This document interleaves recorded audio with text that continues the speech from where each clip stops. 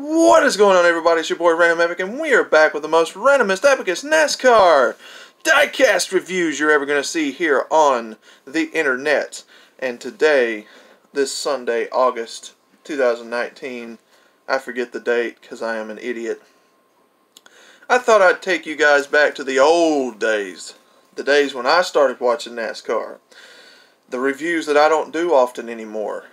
Yeah, those days the late 1990s, a very simple time to be a NASCAR fan. And uh, if you were a kid during the, those days, you had the best of the best, cream de la cream, finding any of these diecast and having plenty of competition uh, in the diecast companies to find the drivers you wanted. You had a much better chance of finding all of the drivers in the stores uh, than just the ones like that come in waves these days, like the uh, Lionel NASCAR Authentics. Uh, it was just a great time to be a fan, great time to get into this sport, and I wish those days desperately, desperately would come back. But uh, we all know that that's probably never going to happen. So uh, what you're looking at here is uh, Rich Bickles it's got Greg Sacks on the door, but uh, he, him and Rich Bickle both drove this car for a time.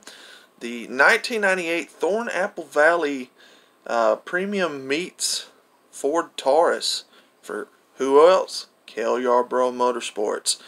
Yep, this is one of Cale Yarborough's last cars in the NASCAR Cup Series before he retired as a uh, team owner. Cale Yarborough uh, fielded a few few uh, teams and driver combinations throughout the late 1990s, uh, and by the end of 1999, I think he sold out and uh, finally went into full retirement. But uh, for 1998, he had a he had some pretty interesting cars. Um, of course, mo most everybody remembers uh, the '97 season where Jeremy, where John Andretti uh, won at Daytona in the Pepsi 400. Um, I think that's probably the most iconic uh, race for the Cale Yarborough number 98 team. And uh, I think this is uh, a deal with his dad. I think uh, his dad, Leroy Yarborough, ran the 98 throughout his career. Um, in my customs, with the custom paint schemes that I do, uh, I use the number 98 as one of my uh, main paint scheme cars. So uh, I do so much enjoy the number 98. But uh, back in 1998, this was a very underfunded team. Um, yeah, even coming from Cale Yarborough, this was a very underfunded race team. Um, they they had to they they basically switched sponsorships every season. Uh, they had RCA, and then of course they switched to uh, this. I think midway through '98 they switched to. Um, Oh, um, well, no, I think they kept the sponsorship for one year. I think they kept uh, Thorn Apple Valley all season.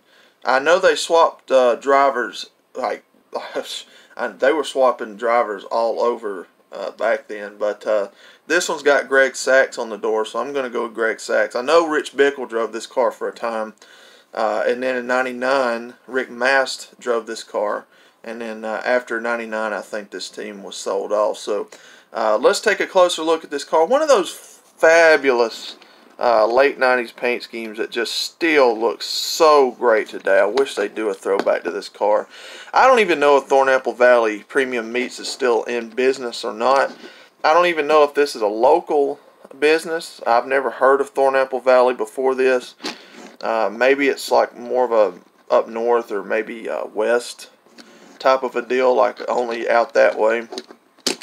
One thing that grabs my attention really quickly on this car is the uh, gold gradient that's on this, which was always pretty cool. Um, I think this car just this car just so deserves its own throwback. Um, you know, of course, the Ford Taurus. A lot of people weren't crazy about this when it when it first debuted in '98. Um, I, I always thought it was just so freaking cool that they included uh, the headlights and all that.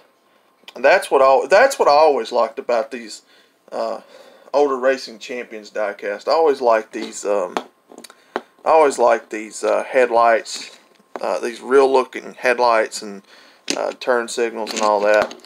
Uh, it's just a really, really cool car. And we're out of focus again. Take a look at that. There we go. Uh, so, Thorn Apple Valley Premium Meats. Ford Taurus number 98. You got your small contingency sponsors. I'm not going to bother reading. NASCAR 50th anniversary. That's how you know this is a 1998 edition car. All the contingencies back then on this car. Number 98. Uh, DuPont, Mac Tools, and a bunch of other ones I'm not going to read. The iconic number 98. Thorn Apple Valley Premium Meats. Some more contingencies I'm not going to bother reading because I do not have the best of eyesight. Thorn Apple Valley Premium Meats on the deck lid. And then, of course, Thorn Apple Valley on back here. NASCAR 50th and the number 98 on this side. And this side, basically the same. And you can see where they continued the gradient going down the side here. Uh, basically just the same as, as this. And then here is the top. We're coming out of focus again. Come on, focus, focus, focus. See what that did. Yep, there we go. I don't know why this thing wants to go out of focus. But uh, anyway, you see a lot of these gold lines uh, in this paint scheme. Very, very nice. I really enjoyed um, this car when it first came out. I used to have a huge poster of it. Um, and then, of course, 1999, this this sponsorship went away, and uh, they had Sonic Drive-Ins was a was a sponsor for a short time, and then of course the Woody the Woodpecker Universal Studios uh, came aboard this car for uh, the remainder of '99, uh, and then after that, I believe this team was sold. The '98 wasn't used uh, again for a very long time in the sport until uh, I think the infamous Dogecoin car a few years ago, but uh, yeah, the number 98 is very cool. I, I always like using it on my customs when I make custom paint schemes. So uh, it is very neat to have a um, a number 98 actual car. Probably one of the only ones I've got because, uh, again, they didn't have 98 in NASCAR for a very long time after this. Um, I've got the RCA car that Andretti drove and even Jeremy Mayfield's RCA car. Uh, I would really like to find the older 98s like the um, like the Bojangles, I believe it is, and the Fingerhut car that Derrike Cope drove. I'd really like to find that. That'd be pretty cool. But uh, it's the 1998 NASCAR 50th anniversary Thorn Apple Valley Premium meats Ford Taurus. Greg Sacks drove this car for Cale Yarborough Motorsports. Thank you guys for watching. If you've seen anything or want me to review anything, please leave it down in the comment section below. I am always eager, willing, and able to review these cars.